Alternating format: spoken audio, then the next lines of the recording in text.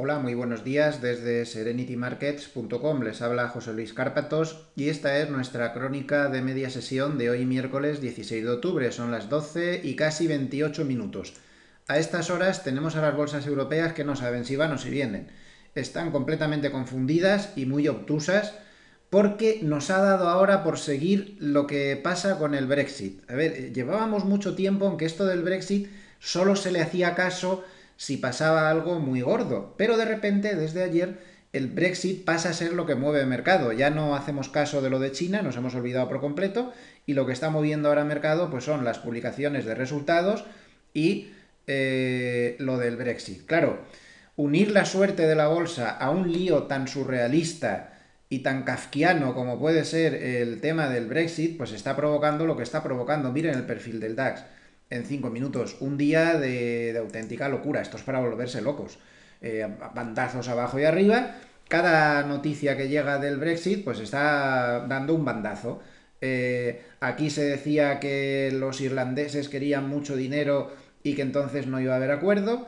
Luego se ha dicho que no, que todo iba bien. Luego se ha dicho que eh, la Unión Europea decía que ya era muy pesimista y que estaba la cosa muy difícil. Luego han empezado a decir que, sí, que sí, que iba a haber acuerdo eh, para fin de mes, aunque esta semana no podía ser. Luego ha salido otro diciendo todo lo contrario. Y el último tramo al alza que vemos es porque, pues parece que se han filtrado noticias de la Unión Europea diciendo que eh, sí que se podría llegar incluso hoy a un acuerdo. Luego, este mini bandazo de aquí es porque se ha dicho que hoy era imposible llegar a un acuerdo, pero que sí que se podría llegar a un acuerdo, que más o menos lo apañaran, una especie de, declaración de intenciones. Bueno, eh, al final laterales y no hemos ido a ninguna parte. El, tema del Brexit es un tema realmente lioso, es un jaleo, no hay quien se aclare con eso. Y bueno, pues las bolsas se están entreteniendo dando bandazos camino de ninguna parte con esto del Brexit, así que vamos a dejarlo estar de fondo, pues hombre, parece que sí que van a llegar a un acuerdo. No sé si será hoy, mañana, esta semana, a finales de mes o dentro de tres meses, pero parece que sí que va a haber acuerdo finalmente, pero con esto del Brexit nunca se puede decir la última palabra. La libra está a cero, ya no sabe hacia dónde dar el bandazo. Fíjense, todos los bandazos que ha dado hoy en el gráfico de cinco minutos es impresionante, ¿no? Es una locura esto con, declaraciones contradictorias por todos los lados. Insisto que la última declaración es que sí que va a haber acuerdo, que puede ser hoy, que puede ser esta semana y que si no se hará un apaño y que sí que habrá acuerdo. Bueno, pues vamos a ver. La libra cero, no sabe cómo, cómo tomarse esto al final. Los bonos, pues con subidas moderadas, 16 puntos. Eh, Wall Street está a la baja, porque Wall Street, eh, pues ayer sí que se contagió del tema del Brexit simplemente porque las bolsas europeas subieron mucho y hay un efecto contagio inmediato cuando Europa se mueve mucho abajo arriba y al revés y viceversa.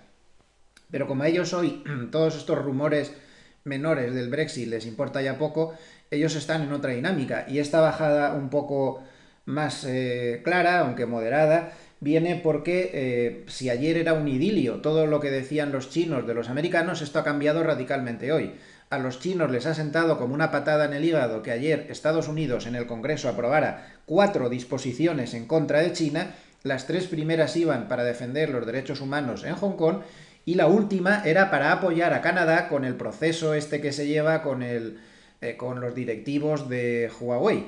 Esto ha sentado muy mal a China, el ministro de Asuntos Exteriores ha pedido a Estados Unidos que deje urgentemente de interferir en los asuntos internos de China y que si esas disposiciones que faltan aprobarlas en el Senado, el Senado está bajo control eh, republicano, no sabemos qué pasará, que si esas disposiciones finalmente se aprobaran, China tomaría represalias inmediatas contra Estados Unidos. Ya ven, se acabó el idilio en 24 horas. Es lo que decíamos ayer. Mejor no hacer mucho caso de este tema hasta que no veamos realidades. Además, los chinos, como ahora ya da la cosa de mal rollo, han dejado caer que eh, si Trump no quita más aranceles, pues que eso de que van a comprar 50 mil millones de dólares, que eso ya se verá porque se puede paralizar. Y Estados Unidos ha contestado con otra historia quejándose a los chinos de que dejen de traficar con eh, petróleo iraní y les ha acusado de que en sus eh, barcos, en sus petroleros, desconectan los transpondedores estos, que es esto que va dando una señal de dónde está el barco, para engañar a Estados Unidos y les ha dicho que dejen de hacerlo. Como ven, hemos pasado del idilio de ayer al mal rollo de hoy.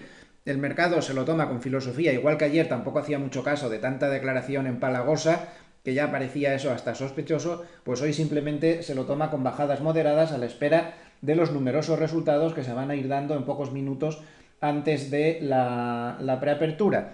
En sectores, hay dos sectores que hay que destacar.